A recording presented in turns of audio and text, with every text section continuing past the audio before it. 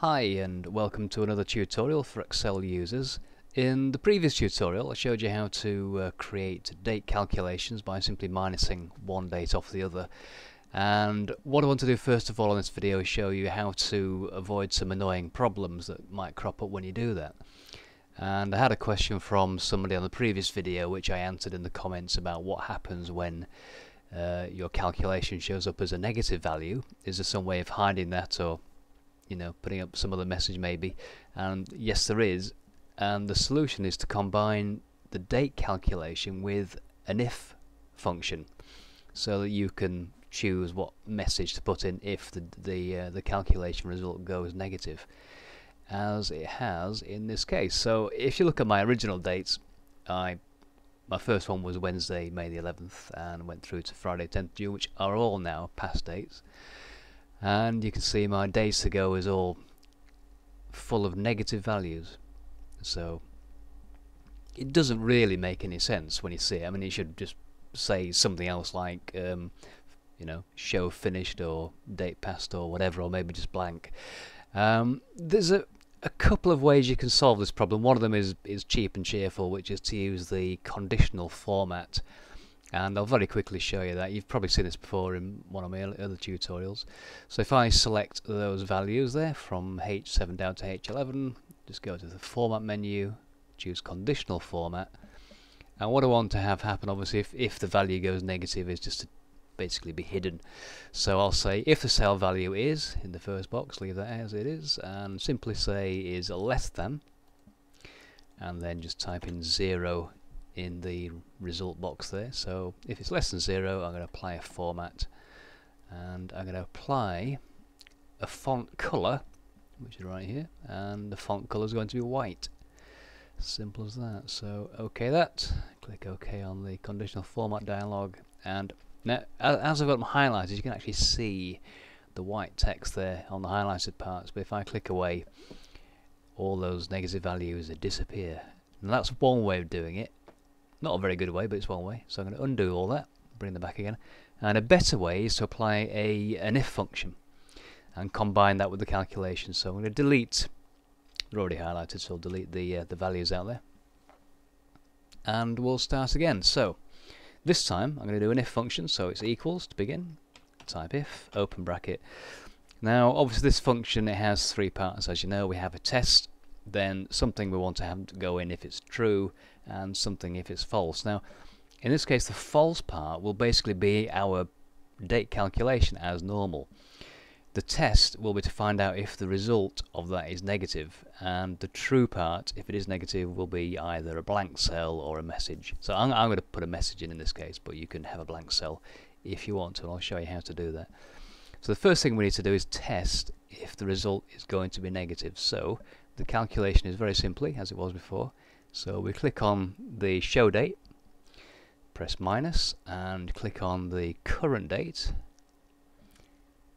which is right there. I'm going to set that again as an absolute reference, so I'm going to copy the formula down, so I don't want that to change from E3 to E4, etc. Uh, okay, so is that result less than 0, which would make it negative? Type a comma, and if it is negative, I'm going to have the word, just the word past in. There we go. I suppose you could type in P-A-S-T, same thing. Um, anyway, it doesn't really matter. I'll leave it as past and comma again and then the false part is simply going to be the same calculation but this time it would if it's not a negative result presumably it's either 0 or a positive result so I will repeat the calculation so again we click on A7 in this case minus E3 and again set that as an absolute reference. So it looks complicated but hopefully it makes sense that basically all we're doing is just checking initially if the calculation is going to be result in a negative value. If it does we're going to put a word in there that says past I mean the date's gone. And if not we'll simply put the calculation in as we would have done anyway as we initially did. So there's the formula. You want to check in the formula bar there? So equals if open bracket logical test result if true result if false and click on that tick and we should because it's a, a, a negative result get the word passed in there which we do thankfully. Now I will just repeat that one more time and show you what you need to do to put a, uh, a blank cell in. It's pretty straightforward really. It's, it's mostly the same, so equals if open brackets, and just repeat the calculation there. Uh, less than 0 comma. Now this time my true part is going to be just simply a double quotation and that will put a blank in the cell or basically put nothing in the cell. And obviously the re result of the uh, formula if it's not true is going to be the same calculation. And uh, make that an absolute reference as well. So there we go. So that's the, the same calculation but this time it puts a blank result in rather than anything say a negative value or a word in say. So there we go. And uh, I can just highlight those two to show there's nothing hidden behind which there wouldn't be. Now I can then I'll go back and use my pass value so I'm simply going to copy that one down all the way there. Okay. Um, and they're all past dates now just to prove it works. I'm going to change some of these dates. So let's say we're going to repeat these shows in the future. So um, I'll tell you what I'll leave that first one now leave the first two as passed, and I will change Citizen Kane to let's say July. 18th of July and we'll have the Wizard of Oz in August. And uh, we'll have Singing in the Rain in September. There we go. So now what's happened is our first two results are negative and so the word past goes in there and our last three results are positive and so the calculation continues as normal. Um, what that does basically is with the spreadsheets it just puts a more friendly result into the uh, result cells rather than have something that looks a bit weird. So when you do a calculation you end up with a negative value. Obviously that's not, you know, I mean the result is correct but it's not what you want people to see. Um, and this makes it a bit more user friendly, sort of puts a message on instead of a value. Okay, so that's uh, one thing you can do.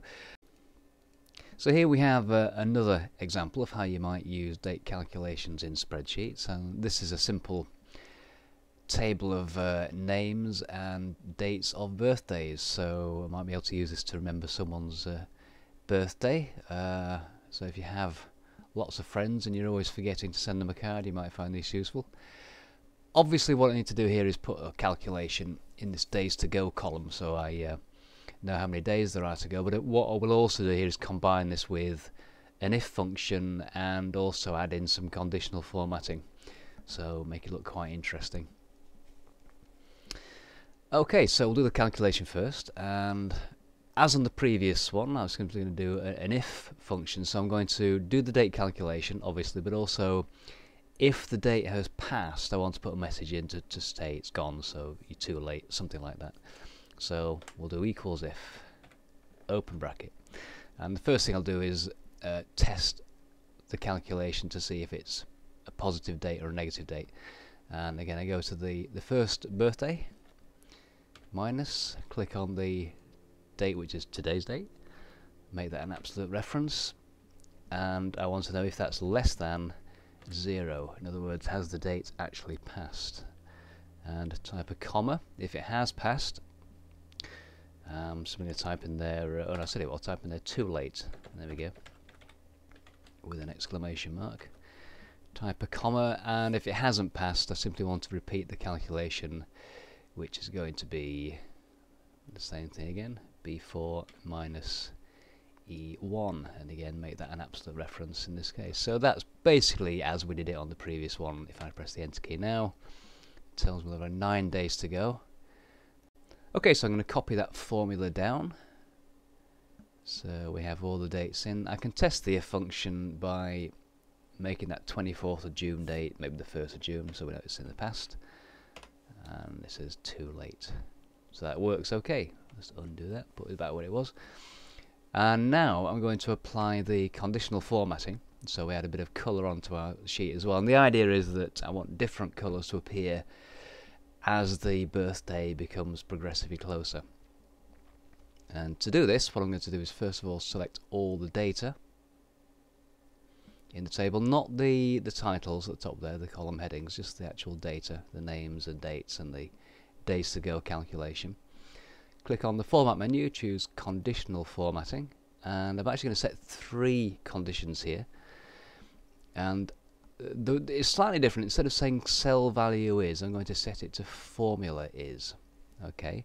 And what I then do is click in the, the long entry box there and type equals click on the first date which is C4 and I'm going to modify that by taking out the dollar sign between the C and the 4 and what that means is that the column reference remains absolute but the row reference is relative. So as it as the conditional format moves down the table it updates the row number from 4 to 5 and so on. That'll make sense when you see the result. So it colours in the row and not the whole table which is not what we want at all. So uh, dollar $C4 is the reference for that. And I'm simply going to say is it less than 2 in other words is there a day to go before the birth date um, or is it the actual birthday? Or past the date? And I'm going to apply a format to that. I'm going to make the font colour a yellow and I'm going to make the background colour red. Click OK to that. So that's quite a strong image there. Said I'll actually modify that a bit more. I might make the font bold as well so it stands out even more okay so I'm going to add a second condition and all I do really what I can actually do here is cheat a bit because I can simply copy control C to copy once I've highlighted it.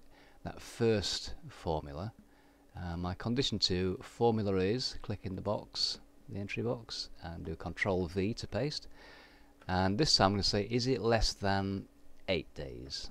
Okay so in other words this will apply if it's greater than one day or less than eight days. So it's getting close but not critical.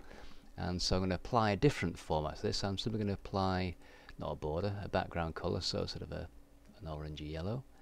Click OK. And I'm going to do one more. So formula is and obviously still got that formula on my clipboard so I can simply paste that in again. And this time I want to know if it's less than 15 days. So gives me plenty of time to get things organized click on format and this time I'll apply a green background indicating that it's getting closer but I've still got time to uh, get things sorted out click OK and if I just click away from the table you will see that because the birthday is on the 24th of June, there are nine days to go, so it's green. Now what I'll do is I'll move that birthday progressively closer to today's day and let's see how it changes. So if it was say the 20th of June, which is five days away, it suddenly goes to the, the yellow colour, indicating that things are getting a bit tight. And if I move it even closer, so if it's tomorrow, then we get the red alert come on indicating that we haven't got much time to get things sorted out. So that's just a nice little example of how you can use date calculations, combine it with if functions and conditional formatting. And if I move that beyond, so if I put that birthday in the past, you'll see also um, that we get the too late message come up. And if I just go down here and we'll just put some different dates on on each of these so you get an idea of how it all works. So you can see the different colours and messages appear depending on how close you are to your birthday. You can also use this with the sorting features. If you uh, want to have your list sorted by the name, I could just click into any one of the names there, click onto any one of the names and click on my A to Z sort. And that will organise names alphabetically but obviously my dates are now out of sequence but still by using the highlighting I can see which ones are close and which ones are far away. And if I want to reset it so it's sorted by dates click any date click A to Z again and that sorts it by most recent to the uh, most far away and finally even though I've missed this first one I can simply click in the formula bar and change 2011 to 2012 press enter resort the list and that birthday goes to the back of the pile now so hopefully I'll remember Tom's birthday next year. Okay that concludes this tutorial, hope you found that useful. In the next one we'll be looking at how to enter, format and calculate with times. So see you then.